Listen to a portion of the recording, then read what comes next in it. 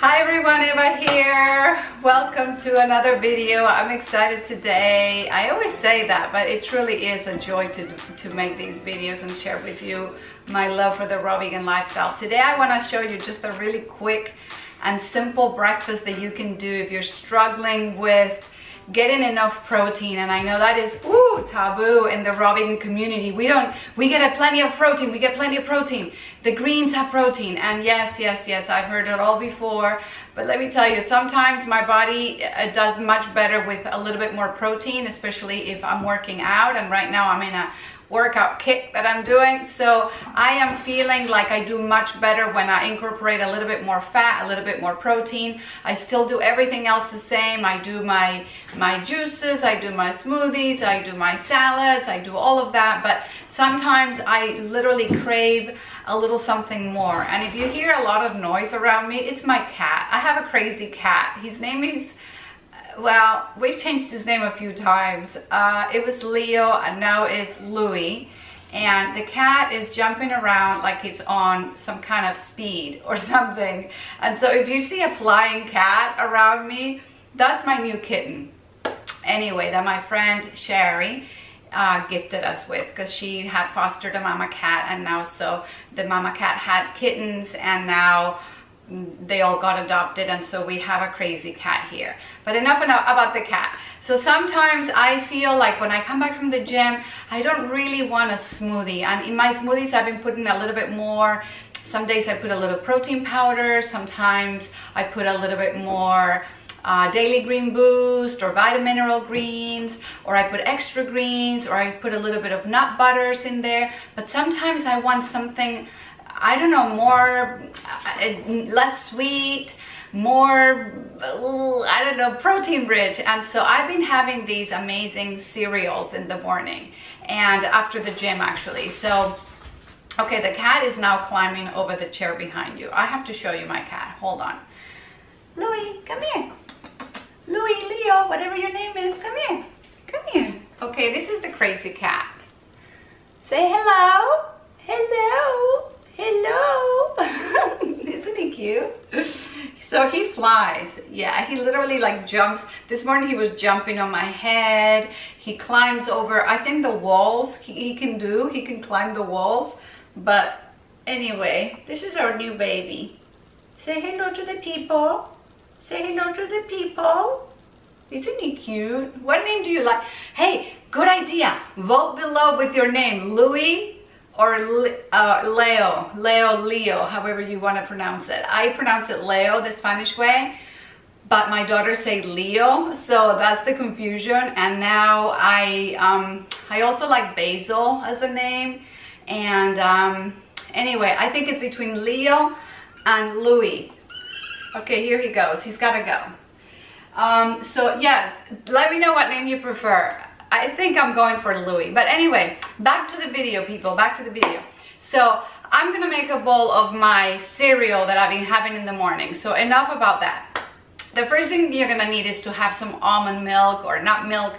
And lately I've been really into Brazil nut milk. So the thing about making this cereal quickly is that you already have your milk done. And usually I make milk every three or four days. And um, so today I don't have any milk, so I'm gonna make it with you. But, oh my gosh, oh my gosh.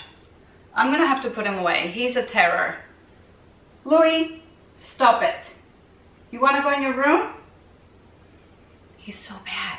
Did you see the camera shake? That was the cat. Um, so I'm gonna make nut milk today. This is gonna be a very entertaining video. I just have a feeling that the cat's gonna fly any minute. I'm training him not to jump on the counters and for that I get a little uh, spray water bottle and I just fill it up with water and every time he tries to jump on the counter I spray him a little bit and that way he gets scared of jumping on the counter because I do not like cats on kitchen counters that is just like I do not like that I never have I, I just can't have it so uh, let me just get started. I'm gonna make some nut milk first and I'm sure you've made nut milk before. It's super easy. Uh, let's go. Okay so nothing too complicated right? You just get a little bit of almonds. I like to do uh, a little bit lower fat milk so i'm to do one cup of almonds. And like i said have this at the ready. It lasts about three days in the fridge. Let's see. Okay, almond. I like to put couple of dates to sweeten. These are already pitted. Do never, never put pits in your Vitamix. It'll ruin the blades. I've done that. Okay, and then I do a little bit of cinnamon, just a little something. Then I do, I'm trying to be quick because I know you guys don't have time to be sitting there watching me make almond milk. And then I'm gonna do a little bit of water actually quite a lot of water. I do about one cup of almonds to, what was this, 32 ounces of water? Because I like it a little bit lower fat. You could, you know what you could do? You could do coconut water too. That is delicious. But anyway, let's, here we go.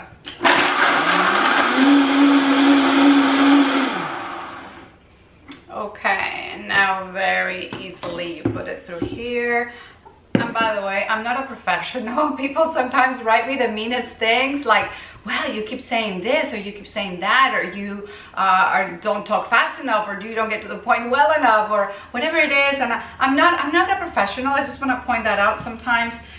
People expect a little too much from me. I'm not a broadcaster. I don't have a degree in, in um, journalism broadcasting journalism. And yes sometimes i'm just these videos are very it's just me the camera a freaking ring light you know what i mean? I don't have a camera person. So it's just me. So i try to do my best and i try to edit my best. But anyway don't be mean with the comments people. If you have to need to leave a mean comment that says more about you than it says about my skills right anyway so now get get a good um, nut milk bag by the way. It makes all the difference. I've had some really bad ones and I've had better ones and this one I really like. It's it's nylon which is not ideal. Some people prefer the cotton but the cotton I feel like they don't do as good a job. I don't know. Maybe it's just me. Maybe I had a bad cotton one but I like this one. Can you see okay? Like I said I don't have a camera person. My child sometimes helps me my youngest but um anyway you squeeze all the milk out and there's your nut milk I mean how how easy is that? No cows were impregnated against their will. Then their baby's taken and then the milk stolen, right? It's just so easy. And then you can buy milk too. I mean, don't get me wrong, you could make this a lot quicker if you just buy your own milk, but I prefer to make my milk. My kids don't like me to make their milk. They prefer they prefer the store-bought milk. Um, I wish they would drink this. They did when they were little and then they grew up and then they started doing whatever they, they wanted. that happens, I guess. I have teenagers now, they're 15 and 13. So now they're just kind of like making up some rules of their own and I don't have as much control, which really, really does suck. But anyway, enough about that. So let me get a, a towel. So now your milk is ready. And I mean, how creamy and delicious is that? That's just pure goodness right there, pure milk. And it tastes delicious. And all it is is almonds. And then you know what you can do is rotate your nuts. Um, rotate the nuts and use different nuts all the time. Sometimes I make walnuts, sometimes I make, I made pistachio not too long ago. The thing about the nuts is you should already have them soaked and dehydrated. I don't just take nuts out of a bag and make nut milk with them. These nuts that I have here in this jar have already been soaked for over 24 hours. They've been dehydrated in my dehydrator right behind me. And then I put them in the jar and they're ready ready to go at a moment's notice. I sometimes let them rehydrate a little bit. I soak them in the water a little bit longer. I didn't today in the interest of time, but they're fine because they've already been activated. So there's my milk right here. And now I'm gonna show you what I put in my cereal bowl. Hold on. Aren't these pretty lids? I got these on Amazon. And I'm trying not to buy so many things from Amazon, but dang it they have good um, they have good things right if you ever see something at a store and you think no really could get it cheaper on amazon it sucks and i'm trying to do better but anyway i did get these on amazon and they're just so cute because they're different colors they're universal they fit all the all the mason jars they fit the white mouth and isn't that cute anyway so for my cereal this is what i do i get a pretty bowl because you do eat with your eyes too and i love these bowls this is like an infomercial at this point okay I get some buckwheat groats. Okay, these are my goodies here. this is a little bit of a haphazard video, I'm sorry. I get some buckwheat groats. These already have been soaked and dehydrated. They are, again, they're in my jar because they're ready to go. And the thing about these buckwheat groats, a lot of people don't realize is that these are super high in protein and minerals and they are not they do not contain gluten. And what I like about them, they're also a prebiotic. That means they're food for your gut uh, bacteria. And what I like about them is they feel like you're eating cereal. They're they're not a grain. They're, so they are, they're like a pseudo cereal. Some people refer to them. They feel like a cereal, but actually they're very widely used. They're kind of catching on here in the United States, but they're very widely uh, used in uh, Eastern European countries, I am told. Um, from people that tell me, oh yeah, my, my grandmother used to make dishes with that stuff. So I, they're very versatile. I make crackers with these. I make um, my cereal with it. I put them sometimes. I cook with them for my family. So, I mean, I'm really liking these, um, these buckwheat. All I do, oopsie, is I put one, two, uh, this is kind of like a big spoon. Then I put some chia seeds, not too many, about maybe one tablespoon. And what I like about chia seeds, again, super high in protein right? And I'm just gonna show you what that looks like so far. Can you see okay in there? Anyway, I need a camera person. And then what I'm gonna do is I'm gonna do some flaxseed as well. But the trick about flaxseed is it has to be freshly ground. It can't be bought ground already. It loses a lot of its nutrition and it actually goes quite rancid very, very quickly. So always buy your flaxseed. I'm sure most of you know this, but I'm just gonna repeat it anyway. Um, buy it uh, whole and then grind it yourself at home. And I like to keep it in the fridge because again, it goes rancid. It's actually very not heat tolerant. It likes to be kept in the cool. So I'm gonna get my uh, flaxseed. For grinding my flaxseed, I like to use my little, um, I've had this for a long time actually. Uh, this thing doesn't, refuses to die. This NutriBullet is from I don't know when. It's from a long, very long time ago. I've had it probably 10 years and I bought it to travel. This is, this is like, before I was raw, this is what I thought was a good smoothie to have. This was my travel smoothie maker. I mean, this is like an eye, an eye wash, but I used to think that this was a good smoothie size. But anyway, so I bought this to travel. So I put, I buy this, Spectrum is a really good brand, but sometimes I get it at Costco too. Uh, one, one of these heaping of the flaxseed and I put it in here. And the good thing about this is that it grinds really, really well. So Okay. And that's pretty much it. That's all you need to do. It kind of comes out like wheat germ, like, um, you know, that kind of thing. Okay. So then I'm going to put it in my cereal.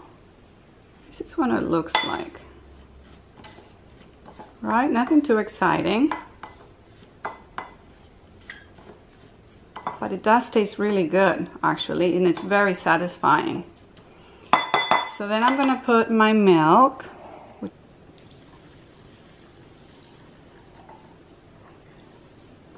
Okay. It'll get softer a little bit with the milk. I'm going to add some blackberries. Let's just not be shy with the blackberries, shall we? I'm hungry. Let's get the blackberries in there. I also have these cute little Thai bananas. Look, excuse my mess. Okay, I'll clean up later. These cute little bananas. These are like Thai bananas. I'm not sure. I found them at the um, I found them at the uh, Asian supermarket and what I found is that these are very dense and creamy and I quite like them. I've had them before but I did not let them ripen enough so that I did not like them but they're kind of, oh no, they're apple bananas. Because you know what? They smell like apple.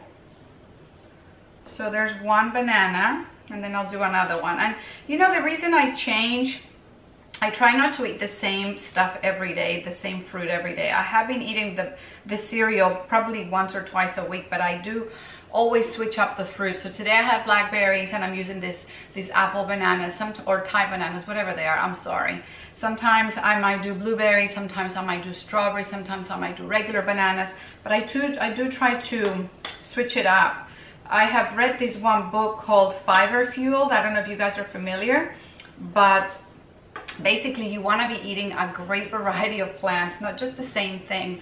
And i hate to tell you but a lot of raw foodies out there are eating the same thing every time. They eat they, they just like have like a few things and they rotate and that's not good long term. I'm sorry but it isn't. So if you're eating like i said in a lot of my videos if you're eating a lot of bananas there's just more nutritionally sound fruit out there more nutritionally found fruit out there. The darker the fruit the better. And right now we've been eating a lot of peaches because it's been delicious you know um, peach season here in California or you know summer fruit a lot of uh, stone fruits we've been eating. I just had a watermelon but I mean, I try to obviously eat seasonally, but I always, within that season, I always try to rotate. Like I hadn't had these bananas in a long time and I hadn't had blackberries. I had been eating figs and anyway, just try and get as much variety. Go to Asian supermarkets. Sometimes you can get different stuff in there. Shop at your local uh, farmers markets, which is actually your best source of very, very fresh and very, you know, much higher quality stuff that you can buy at the supermarket. Certainly much better than Costco. And what another thing I've been doing a lot is shopping more often, which is something that I always said I wouldn't do because I'm busy, but I have found that leaving the food in the fridge for a few days doesn't really, it's just better to go maybe twice a week and get fresher stuff and then just eat it more quickly and not just store stuff in there. So I know we do the best we can. Listen, I'm not trying to tell you how to do it for yourself. I'm just sharing how I do it for myself. And some people sometimes say, well, we can't do, you know, I can't do that. And you're just putting, setting the bar up too high.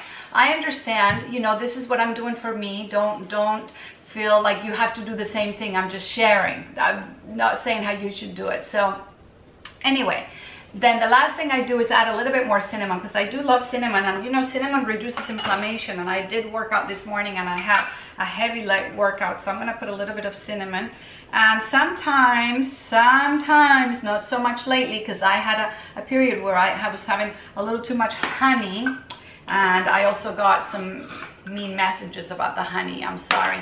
I shouldn't say raw vegan. I should just say raw foodie because I do eat honey sometimes and I do think honey is good for you and I buy very local honey from a person that is like very good to his bees. And so sometimes I eat bee pollen and I eat propolis and I eat that kind of stuff. And sometimes I put honey. But so if I wanted to make this really really decadent I would put some honey on it. But I'm not gonna do honey today. So anyway that's my video for you. Let me just show you my my my bowl my delicious breakfast bowl what it looks like. It's got delicious I'm seeing now that the uh, the seeds have been in there for a while, it's getting a little bit more dense and it's getting a little bit heavier. Can you see okay? Anyway, that's it for today. I thank you for sticking through the video. The cat actually behaved himself. I do not know. I think he's climbing a plant as we speak. And so thank you so much for sticking through this chaotic video. I really appreciate you guys being there. I hope you have a beautiful Sunday and I'll see you in my next video. Bye-bye. Wanted to add that I added some mulberries for maximum deliciousness. There it is.